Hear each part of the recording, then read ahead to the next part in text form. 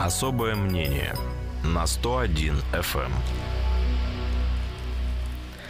Кирове 13.07 начинается программа «Особые мнения». Я приветствую слушателей. Анна Лапшина в студии. И говорю здравствуйте гостю нашего эфира, а, депутату Законодательного собрания 4 и 5 созывов Дмитрию Русских. Дмитрий Михайлович, добрый день. Анна, добрый день. Всем слушателям тоже прекрасного дня. Сегодня не самый плохой день, потому что нет дождя. Уже хорошо. Но вы знаете, я думаю, что те, кто сейчас следят за новостями, может быть, не так рады тому, что нет дождя. Хотя, ну, погода – это погода, а пенсия – это пенсия все-таки, да? Ну, да. Государственная Дума сегодня во втором чтении рассматривает а, законопроект о так называемой пенсионной реформе. А, и к этому моменту, я так понимаю, что возраст уже утвержден окончательно. Да, женщины выходят на пенсию в 60 лет, мужчины в 65. А, ну, сейчас разные совершенно поправки рассматриваются. Те поправки, которые предлагалось... А, предлагались со стороны оппозиции, в основном отклоняются, я смотрю, да, и вот, ну, достаточно э, спокойно обсуждение проходит, судя по федеральным СМИ. Не знаю, там трансляции прямой я пока не видела. А, очень интересно. Ну, как бы понятно, что предсказуемая же была, да, вот эта история с тем, что после выступления Владимира Путина, а, скорее всего, будет принято решение. Ну, на самом деле оно фактически и принято, и оно озвучено. Единственное, что я бы добавил, это нельзя называть пенсионной реформой, потому что слово «реформа» здесь не подходит. Э, здесь подходит только одно слово, которое называется э, поднятие пенсионного возраста. Это не подразумевает в себя никакую реформу, которая впоследствии приведет к чему-то положительному. Приведет к тому, что э, как бы, ну, окончательная цель любой реформы – это то, чтобы можно было сделать для того, чтобы жить, по крайней мере, а мы сейчас обсуждаем пенсионеров, там через 3-4-5 лет была совершенно другой по сравнению с тем, как сегодня они живут. К сожалению, сегодня большинство пенсионеров живут за чертой бедности. Предлагают поднять на тысячу рублей в месяц пенсии. Ну, в среднем. Нет, нет, месяца там нет. Одна тысяча рублей в год. А, имеется в виду, что пенсия будет расти в год, ну, ну, условно, вот в этом году ты получаешь пенсию по 12 тысяч рублей в месяц, в следующем году ты будешь получать ее по 13 тысяч рублей в месяц, еще через год по 14 тысяч рублей в месяц, насколько я понимаю. А, нет, нет, нет, это все не, немножко не так. Вот тут все запутано. На самом деле, сегодня средняя пенсия по стране составляет 14 тысяч рублей рублей. Значит, э, наше э, прекрасное правительство в кавычках объявило, что их задача к 2024 году, чтобы средняя пенсия была 20 тысяч рублей. Значит, мы говорим, что это как раз получается за 6 лет в среднем рост пенсии составит 1 тысяча рублей в год. Ну, каждый месяц будут люди получать э, на тысячу рублей больше. Нет, тогда Нет? получается, если они, тогда это составит Ладно. 12 тысяч рублей. Мы сейчас запутаемся в цифрах, Нет, да. Дмитрий То в данном да. случае здесь, значит, еще раз возвращаясь к пенсии, значит, это на самом деле печальная история, потому что мы сегодня видим показатели показатели, что это никакая не реформа, и пенсионеры наши жить лучше не будут, потому что в 20 тысяч э, рублей в 2024 году, даже при той инфляции, которую сегодня а, объявляет там правительство, это 4-6%, да, э, это как бы э, фактически это будут те же самые деньги. То мы сегодня там видим динамику о том, что очень много обсуждаем сегодня по наполняемости там федерального бюджета, и если я правильно прочитал за последние полгода 2018 года там профицит составил составил 2,7 триллионов рублей. Значит, это только за полгода, да. Они, в принципе, все эти деньги за счет, понятно, что высокой стоимости нефти и большого курса э, рубля к доллару, э, значит, они и так есть в бюджете для того, чтобы э, начать поднимать пенсии. Владимир Путин объяснил, сегодня есть, а завтра нет. Ладно. Да, но, к сожалению, вот я тебе скажу такую историю, что, в общем-то, очень много поколений и в Советском Союзе, и в России сегодня живут в счет будущих дел. Да? Нам говорят, что светлое будущее, оно будет не сегодня, а завтра. Я помню, помню, коммунизм да. хотели построить. Да, ну, даже да. сейчас не про коммунизм. году. Значит, то при этом я хочу сказать, что на, вот на протяжении уже большого периода времени э, поколения меняются, а жизнь не улучшается. То в данном случае я думаю, что большинство людей сегодня хотят сегодня жить э, счастливо и комфортно, а не завтра и не послезавтра и там еще неизвестно когда. То на самом деле я считаю, что э, это никакая не реформа, что э, ресурсы в Российской Федерации для поднятия без пенсионного возраста, поднятие пенсии должны осуществляться само по себе. Потому что деньги в стране есть, ресурс есть, мы богатейшая страна. Но, к сожалению, почему-то так складывается, что для большинства людей, это не только касается пенсионеров, это касается и молодежи, и обычных людей, которые сегодня э, в трудоспособном возрасте, этих денег нет, потому что деньги уходят на войну, на помощь различным странам, значит, на поддержку олигархов и все прочее такому подобное. И понятно, что э, в сегодняшней ситуации, когда мы сталкиваемся с определенными экономическими трудностями, э, кроме как с населения эти деньги собрать нельзя. Ну, решение принято. Мы можем там быть против или нет. Я так понимаю, что решение в основном, в основном своем виде оно принято. Ну да, давайте, окончательно давайте... я думаю, что оно, оно принято и будет принято. И на самом деле базовые все параметры, они останутся. А ну, базовые кроме возраста параметры... 63 года для женщин. Да, ну 60-65. Вот, угу. вот о, о чем мы сейчас ведем дискуссию, да, о том, что, в общем-то, все равно основные э, упоры для того, чтобы изменить пенсионный возраст, они предприняты. Все остальное, что там добавками, прибавками, там всякими разъяснениями, это не, на самом деле суть дела не меняет. Мы сегодня говорим о том, что э, пенсионный фонд находится в тяжелейшем состоянии. Значит, если посмотреть параметры 2017 года, примерно пенсионный фонд сегодня составляет 8 триллионов 500 миллиардов рублей. Да? И из них практически 40% э, пополнения идет трансфертами из федерального бюджета. В деньгах это примерно 3,5 триллиона. Да? Вот это примерно та дыра, которая сегодня и хочет правительство закрыть за счет повышения пенсионного возраста. Потому что они не хотят платить из а, федерального бюджета эти деньги, но они вынуждены их платить, потому что, к сожалению, э, пенсионный фонд работает крайне плохо.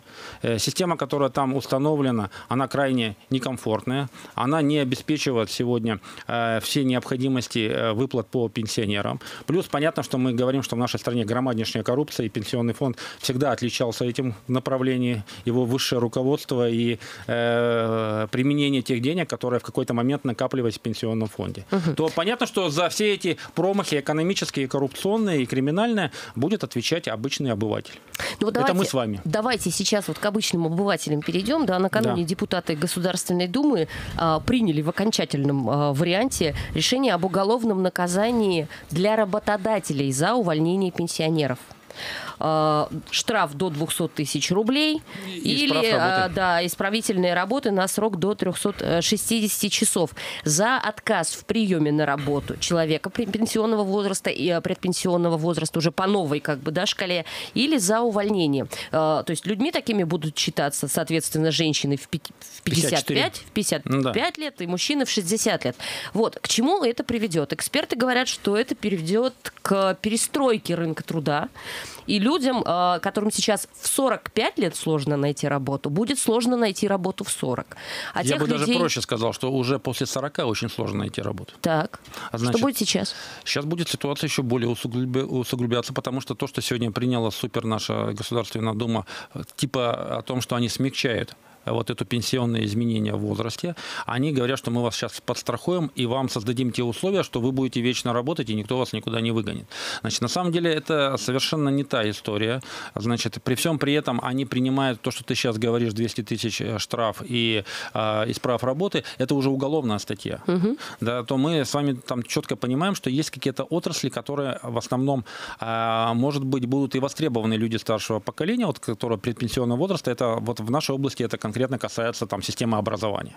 Да? У нас там, это, наверное, по всей да, стране. Да, так. по всей стране, потому что там фактически у нас 60% и работают люди уже пенсионного возраста. Там 30, ну, последние данные, которые я помню по ЗАГС-собранию, где-то около 30 предпенсионного, и где-то примерно 10-12% это, это новые молодые э, кадры. Там, да? А что делать всем остальным? Значит, вот э, в этом плане как бы тут, может быть, что-то бы и сошлось.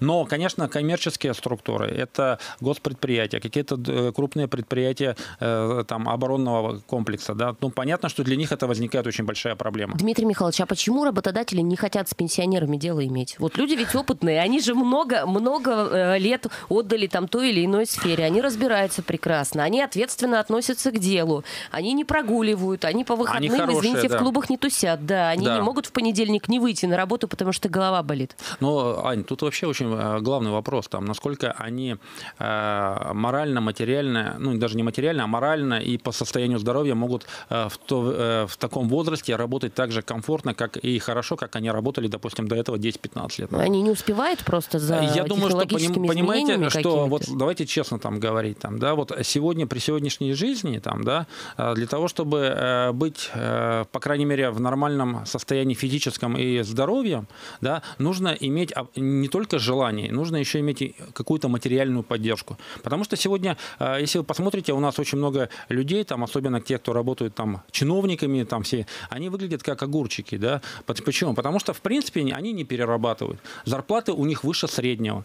Доплаты к пенсии у них громаднейшие по сравнению там с обычными людьми, да. То они позволяют отпуска себе... Отпуска еще, небось, оплаченные. Да, а, а, отпуска а, как бы оплачиваемые. Поездки, да? Да, угу. и при этом они как бы еще э, работают в довольно-таки свободном таком режиме, там, да, ну, не перетруждаются. Понятно, что они могут и в 60-65 лет спокойно находиться на своих местах. Но э, э, при этом у них есть средства, которые выплачиваем мы, да, которые им позволяют там отдыхать, ездить, лечиться в специальных клиниках там или больницах, при этом э, принимать дополнительные лекарства типа БАДов, которые сегодня по всему миру дают совершенно другой положительный результат, именно продлевая долголетие мы и не рекламируем энергию. сейчас, да, да ничего. Да, угу. мы ничего не, ну или витамины, Я поняла, да, да, да, без разницы там, да, то это определенный пакет, когда человек э, может в 60-65 себя чувствовать так же, как в 50-55. Обычный, это технология. Обычный человек не может. Большинство людей у нас работать себе, в тяжелых да. условиях. Угу. При всем при этом он не получает ту а, необходимую пищу, которая нужна в, э, человеку. Плюс, понятно, мы не говорим никаких там витаминах, мы никаких говорим там о отдыхе в санаториях, потому что если мы посмотрим динамику, у нас 90% в Кировской области вообще никуда не выезжает. К возрасту 60 лет человек, человек уже просто изношен. изношен, да. То понятно, что когда э, и мы все это видим, и все мы это прекрасно понимаем, кто занимается там какой-то деятельностью и видит, как э, работают различные сотрудники. Нельзя сравнивать 60 30-летнего человека, при всем к нему уважении в том плане, что он ответственный, он хороший, но есть человеческий фактор здоровья. И сравнить его с 35-летним или 40-летним человеком, да, это совершенно разные вещи. И понятно, что здесь э, любой работодатель будет отдавать предпочтение в сторону, конечно, молодого работника. Так, а вот теперь смотрите, э, почему-то драконовские меры в отношении работодателей введены, да, а вот те предложения, которые были сделаны стимулирующие, там, послабления по налогам, еще какие-то вещи, они почему-то не прошли. Мы с вами об этом поговорим после небольшой паузы. Особое мнение на 101 FM все еще пенсионную реформу обсуждаем с нашим гостем Дмитрием Русским, депутатом ЗАГС Собрания 4 и 5 созывов. Э, вот меры драконовские по защите э, прав людей предпенсионного возраста, работающих, э, которые накануне одобрила Государственная Дума. Были предложения стимулировать работодателей на то, чтобы они людей старшего возраста принимали на работу. Налоговые какие-то, да, послабления по социальным взносам. Может быть, еще какие-то, не знаю, там, стимулирующие меры для тех работодателей, которые пере, э, переквалификации да, людей пожилого возраста занимается. Почему это не было принято? Аня, ну вот смотри, э, все, что мы сейчас с тобой обсуждаем, э, причина вся очень простая. Как сказал премьер страны нашей господин Медведев, что денег нет, но вы держитесь, то в данном случае все, что сегодня предпринимается в плане повышения пенсионного возраста и, и все те вещи, которые сегодня нам транслируют, это связано с отсутствием необходимых средств для того, чтобы просто выплачивать те пенсии, которые сегодня существуют. А, я поняла. Да, то понятно, что когда Делать... ты говоришь о стимулировании бизнеса в плане этом, да, то получается, что стимулирование это значит какие-то дополнительные финансовые расходы или недополученные доходы угу. бюджетов. Там, а так да? удобно, штраф 200, 200 А так 200 тысяч, и вроде никуда вы, ребята, не денетесь. Угу. Но я вам еще раз хочу сказать, что э, вероятность того, что это... А, Лазейки какие-то будут? А, будут а никаких лазеек не будет. Просто нет? к 53-54, как у женщин, так же, как и к 58-59, любой работодатель будет готовить какую-то почву, чтобы не попасть на уголовную статью, то в данном случае или они за, предновременно не будут брать даже на расстоянии пяти лет этих людей там, да, или как-то будут их, их готовить к тому, что если им это не нужно, то они никогда это не сделают то в данном случае сегодня создается прецедент, когда человек должен заранее думать, как ему не попасть под уголовную статью, если ему в какой-то период времени человек, который ну, по, по ряду причин ему не подходит, от него нужно будет отказаться. Угу то на самом деле это такая чисто завуалированная вещь, которая никакого эффекта на самом деле не даст. Она только осложнит отношения между э, человеком, который работает, и кто его принимает на работу. Просто э, бизнес, по крайней мере, точно начнет в этом плане там страховаться, потому что те э, уголовные дела, которые будут заводиться и будут даваться штрафы, никто на них изначально не пойдет. Печально.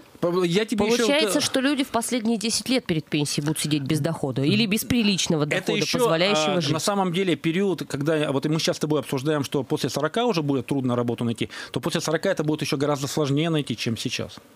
Потому что мы сейчас все понимаем, что есть период 55 и 60 да, и все к этому готовы. Но дальше уже никто не готов, потому что на самом деле э, в большинстве случаев, почему люди наши все сопротивляются? Потому что они уверены, что по мужчинам большая часть не доживает.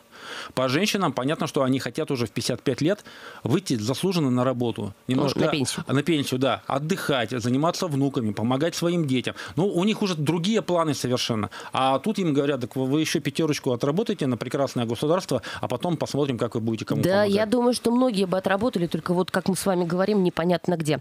Ладно, еще одна Да. тема федеральная такая, которая преломление Это знаешь, имеет. как сейчас очень Да. в интернете очень хорошая вещь идет. Две бабушки идут сзади, и там написано: идем на работу, только забыли куда. Да, много, много Да, таких да. э, демотиваторов в интернете, картинок, конечно.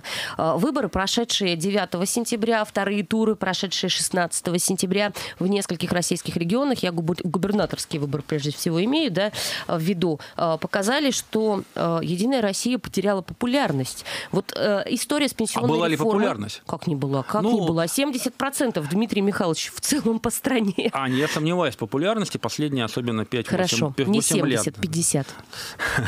Да и 50 никогда не был. Значит, а, скажу следующее. Пенсионная реформа сказалась вот на, на Я думаю, что истории. это одно- а, основ- один из основных факторов, который очень значительно повлиял на то, что сегодня произошло. Так. Значит, потому что все те обещания, которые на протяжении там, 15 лет несет эта партия, они сегодня заканчиваются совершенно трагической историей, которую мы сегодня видим, и такой занавес опускается, и говорят, что все, ребята, мы столько для вас хорошего сдел- сделали в стране, вы живете в лучшем там, э, государстве в мире, э, при этом а, опуская, мы вам говорим, что вот для того, чтобы еще было всем лучше, мы поднимаем, э, делаем пенсионное повышение возраста, для того, чтобы вы не сомневались, что мы делаем с утра до, до- до ночи, только думаем только о вас. Понятно, что уже все терпения закончились, и вот мы сегодня видим громаднейший протест, который прошел, особенно в тех четырех регионах, где выборы фактически победила оппозиционная. Ну, в двух уже победил, Победил, да, ну и это там, мы берем принципе, Владимирскую да, область, Хабаровский и- край, и в Приморье объявлены новые выборы, Да, и в Хакасии понимаю, там да. тоже, вернее всего, что там, если их э, сегодня не остановят и не снимут, то там должен победить кандидат от КПРФ. да. Вот системная оппозиция, она начинает как бы фактически э, забирать э, тот весь негатив, который передаваемый партии «Единая Россия». А вот это хорошо или плохо для жителей страны? Потому что мнения есть два на самом деле. Кто-то говорит о том, что как здорово, Единая Россия, Россия, значит, вот сдала оппозиции, и теперь оппозиция поднимает голову, и у нас наконец-то там будет настоящая конкурентная политика. А кто-то говорит, что ничего, э, собственно, не случилось, потому что оппозиционные партии, они карманные. Ну, тут сложно как бы сказать, что это не так, но э, вы видите заявление тех двух э, победившихся губернаторов э, от партии ЛДПР, которые сказали, что мы, мы полностью поддерживаем политику президента. Ну да. Да, но это говорит о том, что, в общем-то, как бы от перестановки слагаемых сумма фактически не меняется. А, Значит, то, что э, население сегодня голосовало за черта лысого, лишь бы не за Единую Россию, это, это очень четко показало. А Мы не будем далеко ходить, мы можем по- посмотреть на выборную кампанию там в городе Кирове и Кировской области, когда были до выборы два округа э, в законодательном собрании Кировской области и два округа в городскую думу. Там 50 на 50. 50 на 50, но на самом деле, если бы с одного а, э, городского участка не сняли бы э, различными путями Кандидата от «Справедливой кандидата от России», Бегло- да, то, Альберта Бекалюка мы а он бы победил в этом Мгм. округе, и уже пропорция была бы из четырех округов, три победила так называемая системная оппозиция, представляемая, в- допустим, в Кировской области, в первую очередь на выборах, это была «Справедливая Россия». То мы видим настроение людей, которые сегодня уже э, не хотят ни под какими соусами, ни под какими уговорами голосовать за партию, которая, в общем-то, за 15 лет ничего хорошего для них не сделала. Мне кажется, все-таки вот последняя история, э, это такая была прям вот жирная точка, наверное. Вот смотрите, коммерсант сегодня с утра пишет о том, что э, после вот этих вот результатов выборов последних Единая Россия перестанет играть в поддавки с оппозицией и будет каким-то образом закручивать гайки на региональном Но уровне. сма- Насколько вот это подождите, возможно? подождите. На уровне Ань, Кировской области. Они не играют с оппозицией в поддавки. Они играют в, оппози... Э, в поддавки именно с парламентскими партиями, которые так называемые имеют определенную э, конбланш для того, чтобы они присутствовали везде, но, в общем-то, и делили полностью ответственность вместе с Единой Россией. Потому ну, хорошо, что вот они я... сидят в, в, в одних Давайте. местах, особенно Оппози... в Госдуме, оппозиция... голосуют, голосуют практически за оппозиция одно и то же. это три партии. Три партии парламентские. Вот мы про них сейчас говорим. Парламентская оппозиция. Парламентская или системная. Вот давай будем называть хорошо. системная, потому что они встроены в систему, и они поддерживают эту систему. Хорошо, вот речь идет о них. Да. А, им будет сложнее на следующих выборах, пишет э, коммерсант, ссылаясь эксперт. Я думаю, что э, на самом деле э, с ними будут уже аккуратнее как бы вести себя, потому что в данном случае очень странная история. Вот для любой правильного выборного процесса очень важно, чтобы была конкуренция, чтобы люди не теряли интерес к выборам. То картинки должны меняться. Это на самом деле так, потому что мы с вами четко понимаем, что сегодня как бы мы видим по всей стране и по Кировской области, что интерес к выборам у населения очень сильно падает. Явка очень сильно падает. То, конечно, э, мы идем по пути, а, вернее, все что тому, что в скором времени придется, наверное, действующей власти вообще отменить выборы губернаторов. Потому что даже системные Опять? оппозиции, те, которые сегодня у нас находятся в парламенте и очень плотно взаимодействуют с администрацией президента, даже им сегодня партия «Единая Россия» не хочет отдавать места э, губернаторов там в регионах. Хотя на самом деле страшного ничего бы не произошло. И, в общем-то, это был какой-то бы определенный интерес для людей, что, в общем-то, если мы не хотим «Единую Россию», мы там можем выбрать там другую, какую-то другую партию, которая сегодня представлена в том пуле, который предлагает а, а, наша сегодняшняя власть и администрация президента. Ну, хотя бы так, да. Хотя пусть, бы так. И пусть они там да. потом говорят, что поддерживают видим, что Путина. «Единая Россия» вообще потеряла как бы разум, на моем mm-hmm. понимании. Они даже вот этим партиям, которые, в общем-то, им понятны, и которые они управляемы. всегда по, по, управляемы, они поддержаны, они, в общем-то, консолидированно по большинству вопросов голосуют. Они придерживаются одного внутреннего и внешнего э, как бы направления. Соблюдают правила игры. Они полностью играют по угу, правилам игры. Угу. Мы сейчас не говорим о той оппозиции, которая сегодня не системная. Не системна, да. С ней вообще никто не играет. Мы знаем, что все участники, которые сегодня представляют на самом деле несистемную оппозицию, они находятся или в тюрьмах, или находятся в других городах и странах и все прочее. С ними гораздо очень жестко поступают. Ну, в общем, этим партиям ничего не грозит на региональном уровне. Нет, ну, я думаю, что какие-то... Или, э, или будет все-таки Я думаю, что все-таки давление, давление какое-то будет, тем более у нас есть сегодня муниципальный фильтр, который угу. позволяет этим партиям присутствовать на выборах губернаторов, потому что без э, фактически... Потому там, что они в Госдуме. Да, нет, не, не, не потому что они в Госдуме, из-за того, что они все равно сами по себе практически не могут пройти этот муниципальный фильтр без помощи Единой России и власти. То каких-то, наверное, Э, вещах им будет это во всем ограничено. Рисковать сегодня власть не хочет даже и системной оппозиции, чтобы она приходила к власти, то, конечно, они будут более внимательно сейчас относиться к тому, что население начинает там полностью игнорировать партию «Единая Россия». Есть шанс на следующих выборах увидеть еще меньше кандидатов, э, победивших, скажем так, во все, во все уровни. Хотя, если мы посмотрим четыре вот этих э, области, которые были, я внимательно угу. следил. Хакасия, да, Приморский край, В основном все кандидаты, которые область. победили от э, системной оппозиции, они шли как технически. Они сами не ожидали, что так произойдет. А вот произошло. А так произошло. 70%. Потому что, да, потому что население сказало, что все, ребята, хватит. Дмитрий Русских, депутат Заксобрания 4-5 созыва в нашей студии. Сделаем небольшой рекламный перерыв. Вернемся уже с городскими новостями. Особое мнение на 101 FM. Продолжается программа «Особое мнение». В студии у нас Дмитрий Русских, депутат Заксобрания 4 и 5 созывов. Переходим к теме городской, но она отчасти тоже с политикой связана. Власти Кирова... У нас вся жизнь с политикой связана, да, к сожалению. Да, не все, правда, это понимают. Да. Власти Кирова отказались согласовать акцию в память Анны Политковской из ремонтных работ у мэрии. Такая новость размещена на нашем сайте. Вчера об этом же написала «Новая газета», «Радио угу. Свобода» об этом уже сообщила. Ну, вот, собственно, э, история такая. Организатор акции Вадим Ананин неоднократно, практически каждый год год, по-моему, там начинается года убийства, да, Анны Политковской организует акцию э, ее памяти именно в день убийства. Э, некоторое время назад эту акцию разрешали проводить у фонтана на Театральной площади. Mm-hmm. Вот уже два года ему отказывают в проведении акции. В прошлом году, значит, отправляли в Коминтерн. В этом году вообще непонятно, куда э, отправят. И совершенно... Куда подальше. Да, совершенно не, неизвестно, чего боятся власти. Ну, потому что это не протестный какой-то митинг, это акция памяти человека убитого. Российские законы говорят, что убивать людей плохо. Плохо? Почему люди, которые выходят с плакатами, напоминающими о том, что убивать людей плохо, не могут это сделать в центре города, мне непонятно. А вам? Но мне тоже непонятно, но давай мы с тобой с другой точки зрения посмотрим. Сегодня у нас э, везде, кругом главный лозунг – это все запретить. Да, вот и, и даже нет никаких аргументов, почему и зачем. Значит, вот все мы запрещаем, потому что вот э, как бы, а зачем разрешать? Кто такая Политковская? Она зачем? Она куда? Она что, член партии «Единая Россия»? Нет, она не член партии «Единая Россия». Вот если бы она была членом партии «Единая Россия», ее бы какие-то враги бы убили, конечно, мы бы были на самых центральных площадях. Но кто такая Политковская?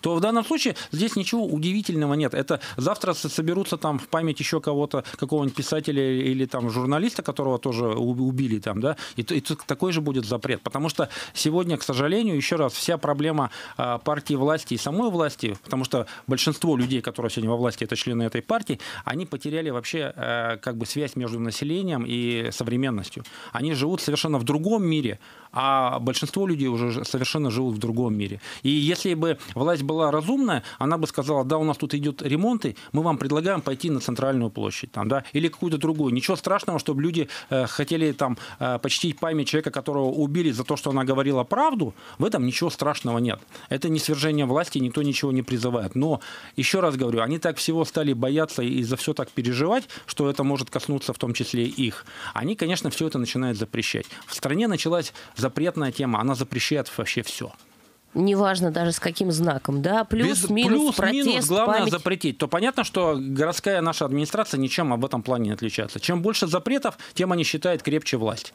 Но ну, э, на самом деле, как сказал один человек, когда власть э, заканчивает все возможности развития, э, им, ей только остается стрелять, то стрелять уже в этом случае становится гораздо, ну, становится уже поздно. То в данном случае вот, вот эта запретная вещь, она просто ни к чему не приведет. Она приведет только к более тяжелой ситуации, которая существует. Нельзя запретить запрещать то, что нельзя запрещать. Но я должна все-таки отметить, да, что окончательно пока не запретили. Насколько понимаю, Вадим Ананин сегодня собирает подписи, как раз и несет их все-таки э, в администрацию города. Я надеюсь, что э, акцию разрешат. Да, и Если они, не и я мэрии, думаю, что не просто разрешат, они, они и предложат место, которое было бы комфортно и для э, жителей города Кирова, и для тех, кто проводит эту акцию. Дмитрий Михайлович все-таки предложит или не предложит, как вы думаете? Ну, вот, может быть, мы сейчас поговорим, они нас услышат и предложат. Но, а, на мой взгляд, мне кажется, что если такая уже тенденция пошла, что они э, запрещают, то вернее всего, что они ее не разрешат или разрешат там, куда доехать невозможно. Угу. Не ну, в центре Кирова. Да не в центре Кирова. А, Дмитрий Русских, мы продолжаем. Еще у нас остается 15, нет, поменьше, даже 10 минут. А, городская тема, ну, точнее, даже, наверное, региональные кадровые перестановки в областном правительстве. А, губернатор Игорь Васильев подписал распоряжение о перераспределении сферы ответственности между заместителями председателя между своими заместителями, да, Максим Кочетков, ранее э, курировавший лесопромышленный комплекс и сферы экологии. Сейчас полностью сосредоточится на промышленном комплексе региона. А, лесной комплекс будет курировать а, Андрей Плитко, а работу Министерства охраны окружающей среды Владислав Кадыров. Ну, Игорь Васильев сказал просто, что Максим Кочетков очень занят будет на промышленном комплексе. Очень много работы, правда, вот ну много действительно предприятий, много диверсификации, вот это Но все. это немножко, мне кажется, не так. Не до лесного комплекса и не до экологии. Вот смотрите, а ровно год-полтора назад основной тренд новые э, губернатора и правительства было это как раз лесная отрасль, угу, которая помним, по, да, их расч... по их расчетам должна была дать какие-то несусветные деньги в областной бюджет, и наведение там порядка приведет там, к определенному счастью э, кировчан, в том э, числе и бюджет Кировской области. Значит, то а в данном случае здесь полностью такая как бы направление, которое на самом деле очень сильно зависит от политики э, правительства Кировской области и курирующего зама. Потому что здесь э, все как бы понятно, леса в основном у нас федеральные или региональные, значит, как бы вырубка это их разрешение, контроль то же самое, то вот тут как раз такая отрасль, которая на самом деле очень значительно зависит от исполнительной власти. Так. Да? Значит, э, по промышленности. По промышленности, мне кажется, тут все гораздо проще. Сегодня вся промышленность – это акционерное общество. То в данном случае они в большинстве своем случаев работают так как они работают, и э, там участие там, правительства Кировской области исполнительной власти, оно очень минимизировано. Потому что я еще раз хочу сказать, что это коммерческие все структуры.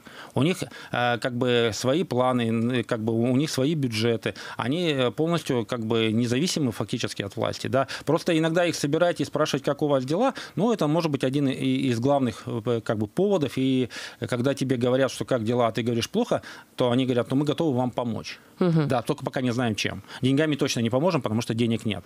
Значит, то э, в данном случае хочу сказать, что, на мой взгляд, как раз э, когда у Кочеткова забирают лесную отрасль, да, это идет определенное ослабление. Потому что, в принципе... Его позиции. Его позиции, как, как да. Игрока. Потому что самый главный э, как бы козырь, который был в, лесной, э, в лесном комплексе, и ему когда передавали, его представляли, что он наведет именно в лесной отрасли порядок, потому что в промышленности очень сложно навести порядок, потому что она коммерческая, там акционерное общество все в основном, да, частности это сектор. Сложно со своими да, у нас нет государственных предприятий, на которых можно там влиять там замгубернатора по промышленности, там, угу. в принципе, кроме как посещать эти предприятия и смотреть, как они работают.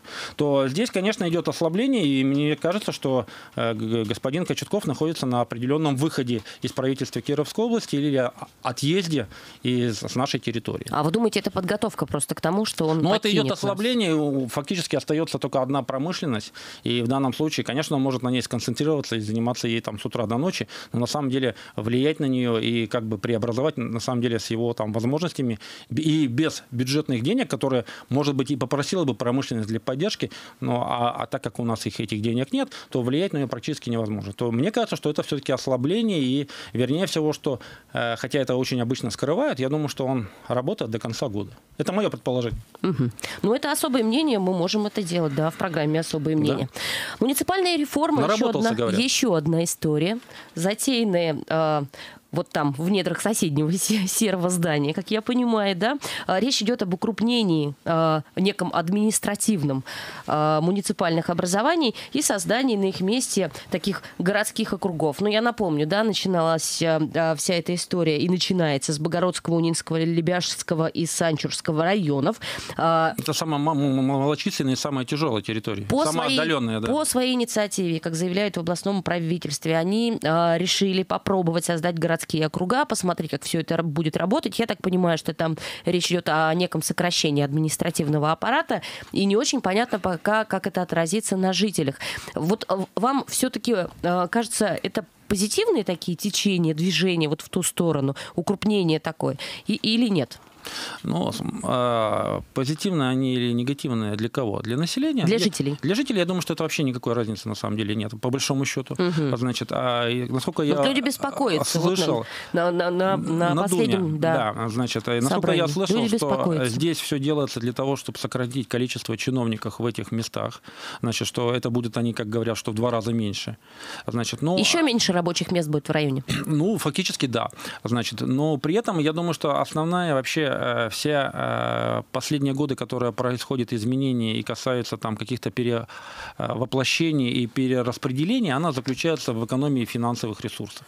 Потому что в Кировском области, как и во всей стране, денег на самом деле становится все меньше, бюджеты все тяжелее, э, доходная часть как бы сокращается фактически, а расходная увеличивается. То есть фактически не от хорошей жизни это Я думаю, происходит. что это все делается не от хорошей жизни, для того, чтобы как бы сэкономить какие-то определенные финансовые ресурсы. Хотя на самом деле там Э, значительно влиять там на, э, как бы, на сам областной бюджет и какие-то изменения, ну, я не думаю, что это суммы так значительно могут повлиять. Это все связано с тем, что надо расходы сокращать.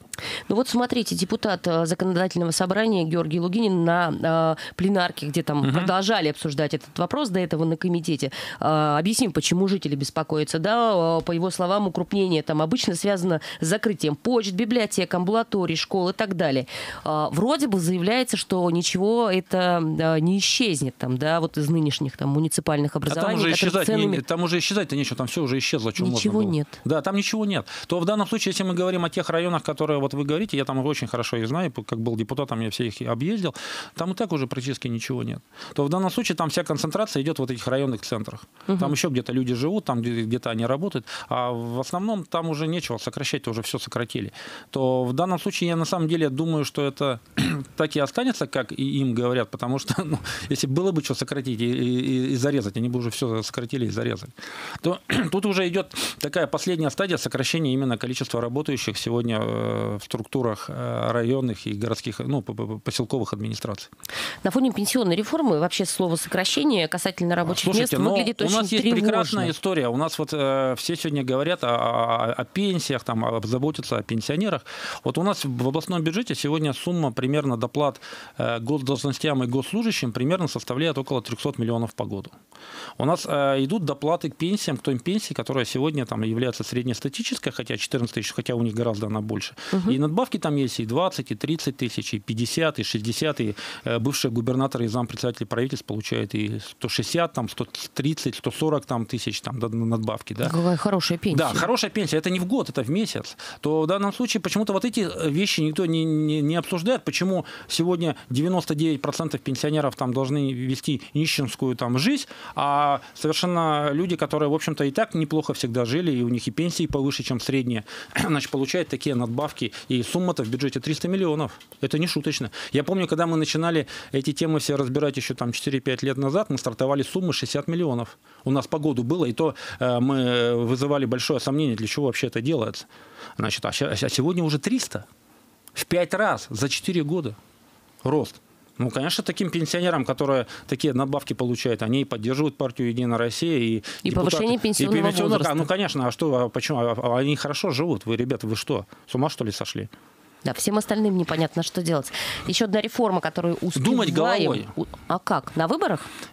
У нас сегодня э, четыре региона показали, что можно так. совершенно по-другому как бы реагировать. Можно, как бы, конечно, и не ходить на митинги, демонстрации, а просто взять и ногами доказать, что все, что они делают, им очень сильно не нравится. Просто взять и пойти на выборы. Просто пойти на выборы и сделать правильный выбор для того, чтобы власть начала задуматься, что она все делает не так, как видит это население. Да, а глав... население все видит по-другому. Главное, чтобы кандидаты остались, за которых можно было голосовать. Главное, чтобы их допустили, они К следующим остались. выборам. Да. Ну да, я про это да. говорю. Их, или, или допустили, или их не, там не убили или не посадили. Ох, там. нет, вот ну, об этом, да, об этом ну, вообще лучше не, не будем, надо. хорошо. Дмитрий Русских, депутат Заксобрания 4-5 созыва, был в нашей студии. Тем по мусору уже не успеваем обсудить, но думаю, что еще э, встретимся и поговорим. Да, я думаю, что это такие три позиции, которые сегодня самые являются злободневные. Это ТБО, угу. как раз да, для власти. Второе – это обманутые дольщики. И третье – это жилищно-коммунальное хозяйство, что фактически все три вопроса очень серьезные, но решения по ним очень сложно находятся и будут очень тяжело находиться.